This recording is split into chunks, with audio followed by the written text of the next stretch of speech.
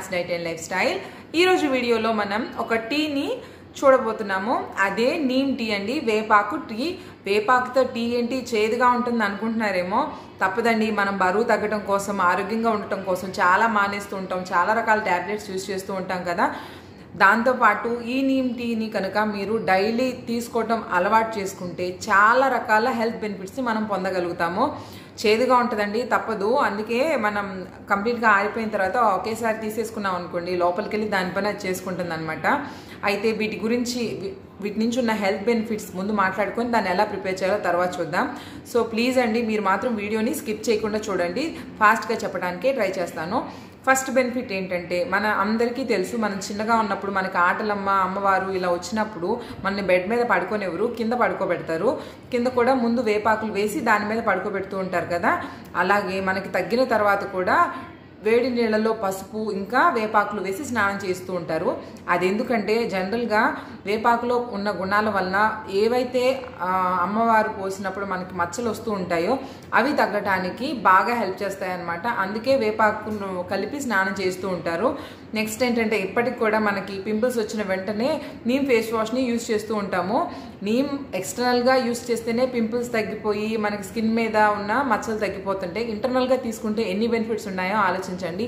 చాలా రకాల skin diseases నుంచి నీమ్ మనల్ని కాపాడుతుంది అనమాట అది ఎలాంటివంటే యాంగ్ని పింపుల్స్ మనకి తల్లో చుండ్రు తల్లో చిన్న చిన్న పొక్కులు వస్తుంటాయి కదా అవి గజ్జి తామర సోరియాసిస్ ఇలాంటి అన్ని రకాల స్కిన్ డిసీజెస్కి వేపాకు బాగా హెల్ప్ చేస్తుంది.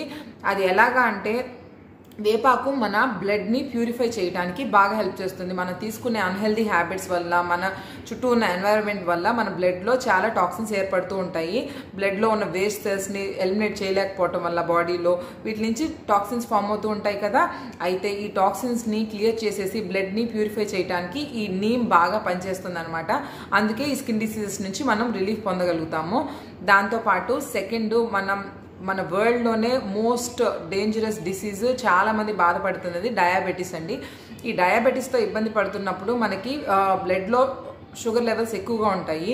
అయితే ప్రతిరోజు మనం మార్నింగ్ లంచ్ అయిన తర్వాత డిన్నర్ అయిన తర్వాత కనుక ఈ నీమ్ టీని తాగటం అలవాటు చేసుకుంటే షుగర్ లెవెల్స్ ఎప్పుడూ కంట్రోల్లో ఉంటాయండి. బ్లడ్లో ఉన్న షుగర్ లెవెల్స్ని తగ్గించడానికి నీమ్ టీ బాగా హెల్ప్ చేస్తుంది.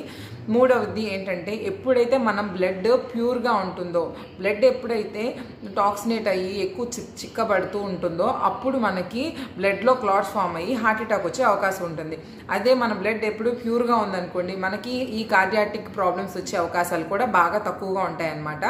ఫోర్త్ది ఏంటంటే మనం తీసుకునే అన్హెల్దీ డైట్ వల్ల మనం కొన్ని రకాల ఫుడ్ని డైజెస్ట్ చేసుకోలేకపోవడం వలన కడుపులోకి వెళ్ళిన తర్వాత జనరల్గా ఏంటి ఫుడ్ బయట వదిలేస్తాము. ఒక రెండు మూడు రోజుల తర్వాత అది కుళ్ళిపోతుంది. అలానే ఇంకొక రెండు రోజులు ఎక్స్ట్రా ఉందనుకోండి దాంట్లో పురుగులు ఫామ్ అవుతాయి. అలానే మన పొట్టలో ఉన్న వేస్ట్ కూడా బయటికి వెళ్ళాలి. వెళ్ళలేదు అనుకోండి దాంట్లో పురుగులు ఫామ్ అవుతూ ఉంటాయి.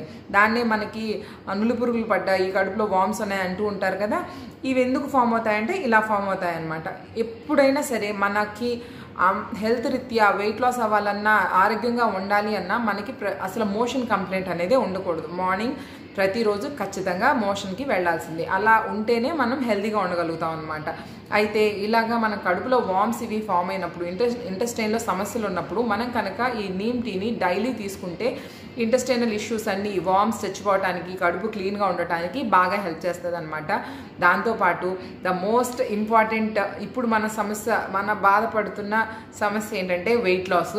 ఈ వెయిట్ లాస్తో ఇబ్బంది పడే వాళ్ళకు కూడా ఈ నీమ్ టీని తాగటం వల్ల మన మెటబాలిక్ రేట్ బాగా ఇంక్రీజ్ అయ్యి మన ఫ్యాట్ బర్న్ అవడానికి త్వరగా వెయిట్ లాస్ అవడానికి మన హెల్దీ డైట్ తీసుకుంటూ మంచిగా ఎక్సర్సైజ్ చేస్తూ ఈ టీని కనుక మనం డైట్లో ఇంక్లూడ్ చేసుకోగలిగితే బరువు తగ్గడానికి బాగా హెల్ప్ అవుతుందండి.